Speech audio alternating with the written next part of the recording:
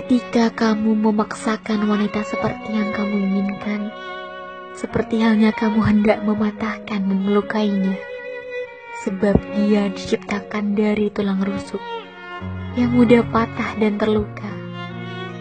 Maka perlakukanlah dia dengan rasa sayang, seperti hanya kamu menyayangi hatimu sendiri agar tak mudah terluka. Begitupun terhadapnya.